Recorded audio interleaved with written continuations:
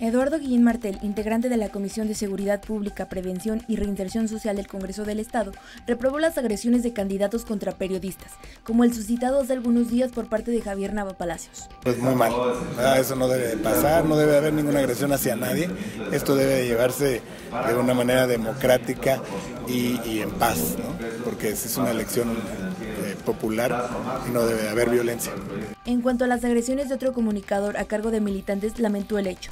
Sin embargo, resaltó que habría que investigar si realmente son simpatizantes o no, ya que existen grupos de choques que solo tratan de denostar las campañas políticas. Pues este, habría que investigar si realmente son simpatizantes de qué partidos o son, son este, agresiones muy puntuales. Este, pero sí es también otro foco rojo que hay que analizar. Exhortó a las autoridades a llevar a cabo el proceso electoral limpio, salvaguardando a todos los integrantes de dicho proceso. Con imágenes de Luis Ostaita para CN13 Noticias, Fernanda Padilla.